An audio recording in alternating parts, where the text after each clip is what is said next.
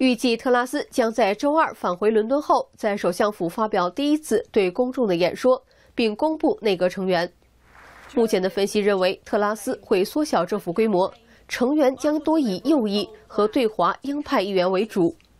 外界预测，现商务大臣科瓦滕会取代苏纳克出任财政大臣，现教育大臣克莱弗利有望接替特拉斯出任外交大臣。总检察长布拉弗曼将成为内政大臣，现任国防大臣华莱士会留任。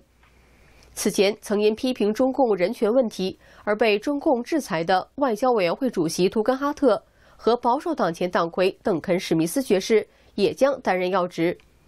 很多特拉斯的同事都表示，他不仅愿意尝试一些大胆的想法，还非常有计划，注重细节的实施，因此把他称为实干型的政治人物。有消息称，外界最期待的能源政策预计会在周四或是周五出炉。特拉斯此次获得百分之五十七投票选民的支持，是近年来保守党党魁获得的最低投票率。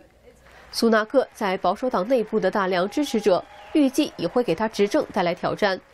保守党党魁的争夺战持续了整个夏天，导致一些政策的延迟实施，因此备受在野党工党的批评。